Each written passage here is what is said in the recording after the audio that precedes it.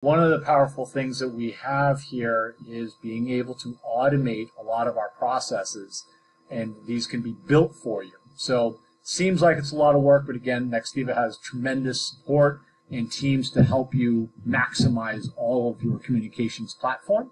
And so one of the things that we can do is actually automate certain processes.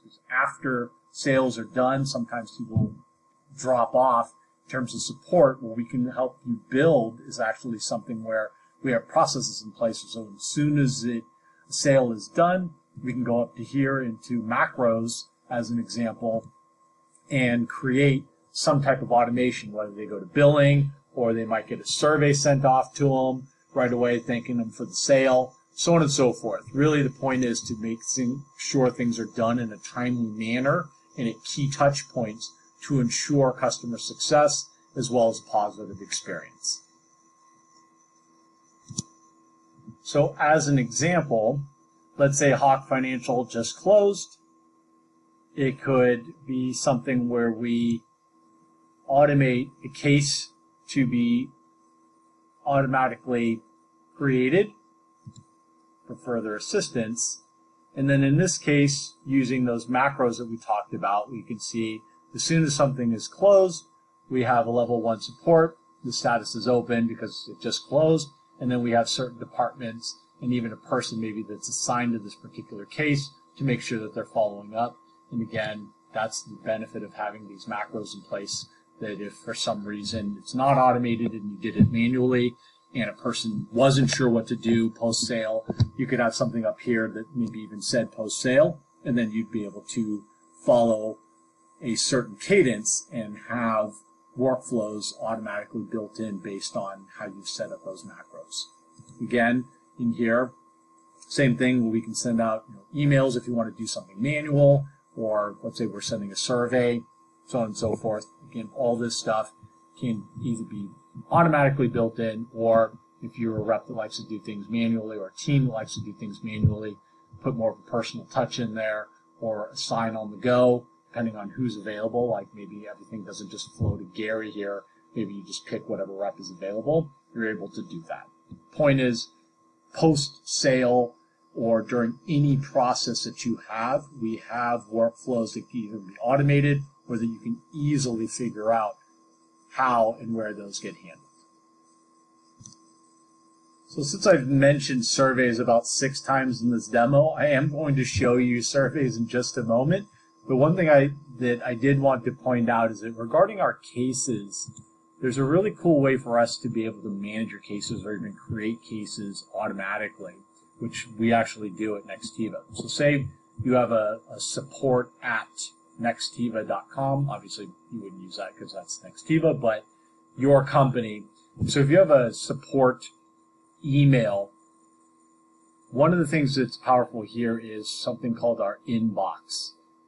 And what our inbox does is basically can tie to any email domain uh, that you choose and we can sync up. And what happens is as emails come in, they can automatically be created in terms of cases. And so you can either just respond to them right away.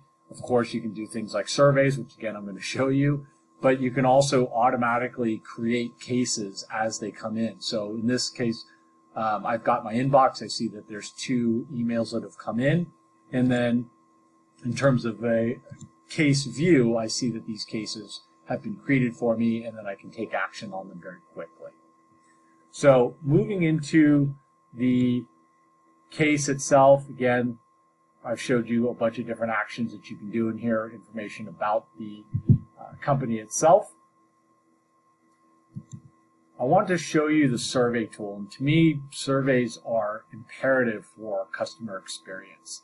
The voice of the customer is super powerful, but it's more powerful when you send it out at key touch points, meaning if somebody is asked a month after they've had a demo, they're going to give you very different answers than if you send it out maybe even an hour after you've had the demo. And so with our survey tool, not only can you automate them, but it also allows the customer to speak candidly because some of these things can be done um, uh, anonymously as well. And so if you really want to know what your customers really think about you and your processes, send surveys. That'll give you a very honest answer. uh, versus you just trying to guess at you know how your customers really feel about you. So this is just a list of all of my surveys that I've created. Of course, we can obviously go in here, change any of them around, and uh, choose which ones we want to send out.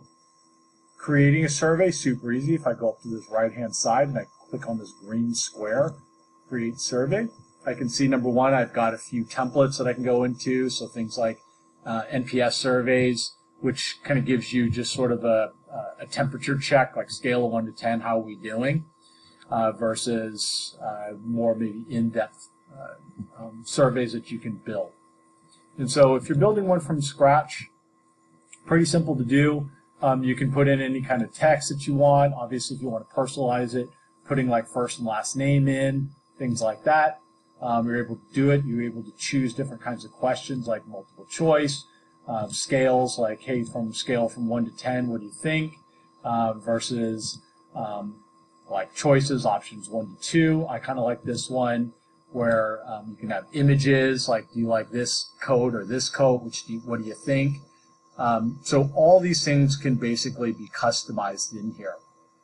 Um, once your survey is set up, we also have something in here where you can create all kinds of rules based on uh, what's happening in your survey. So uh, one thing that I do like is this uh, post logic survey um, and uh, you know, skip logic. What skip logic does is it allows your customers to go to relevant parts of the survey based on their answer.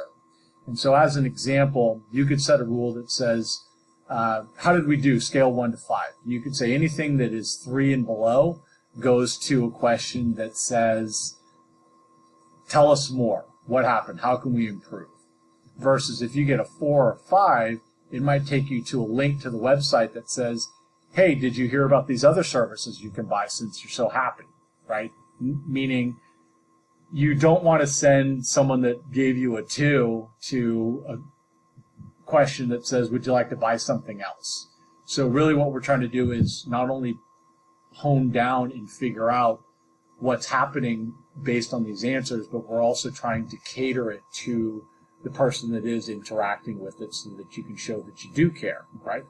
And so that can be used or based on, let's say, option one, option two. So if this is like hot dogs or hamburgers and someone chooses hamburgers, then they only get a line of questioning based on hamburgers versus any hot dog questions. So surveys again are super customizable, really imperative in my opinion to enhancing the customer experience. Definitely part of the Nextiva platform to enhance on that customer experience. And then closing out, here's analytics again but definitely on the CRM side, so all things like cases. So you saw analytics based on call volume. We obviously want to also have analytics based on our productivity tools. And so this is an example of our service CRM. So in this case, we want to look at things like how many cases we have open, how many are in progress. Of course, it's going to look very similar to you know, some of the graph charts that you saw in terms of time to resolve, things like that. And one of the things that I find really cool here is a lot of people's analytics tools are simply just graphs and then that's it. But we generally get asked questions like, can you drill down? And the answer is yes in this case. And so if I said, look, we've got a lot of cases open here. Let me drill down into this. And I actually want to see by user what's happening. And so very quickly, if I drill down into that particular metrics, I can see, hey, out of all the cases that are open, I can see Gary has a couple, Dorian has 12, Lily has two, so on and so forth, meaning now I can really see, hey, out of the open cases, it looks like Dorian's being overworked here, and maybe Anastasia doesn't have as many open, so what I might do is reassign some of these cases. Um, very easy just to reassign them, or if you want to export any data, naturally you can do that in any number of different uh, formats. And so analytics, again, is going to be really key for us. We really strive to not only give you that information, but give you tools to be able to use that information. And so in closing, Nextiva, again, is a unified communications platform, but we're more than that. So everything from voice to video, CRM and surveys with analytics, uh, we try to drive productivity using the entire NextOS platform as a whole to again centralize all of your communications.